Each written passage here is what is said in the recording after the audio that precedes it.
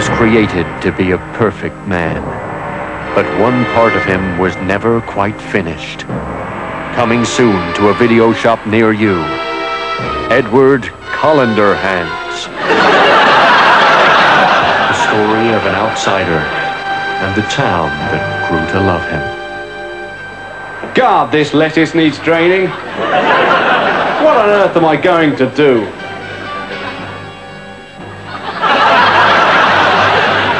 Gee, I wish I could afford a shower, but I've only got this bucket. La, la, la, la. Gee, Edward, your colander hand makes a great impromptu shower unit.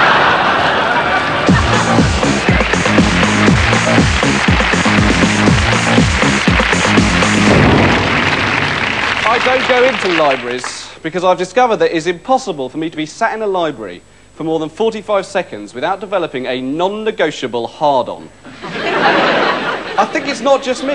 I reckon that when he goes into a library, even Bernard Levin must feel his prim, withered on the vine, austerity years genitals stirring across and up the left-hand side of his grey worsted pants. Alternatively, Barry White must explode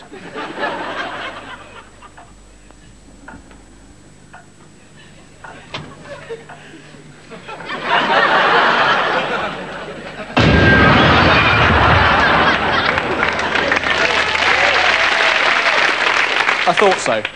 The libido is like a character in the Beano. Whenever it's most supposed to stay clean, tidy, and quiet, you know, that's when it's going to get dirty. It's the silence and those quiet please signs. They just make it worse.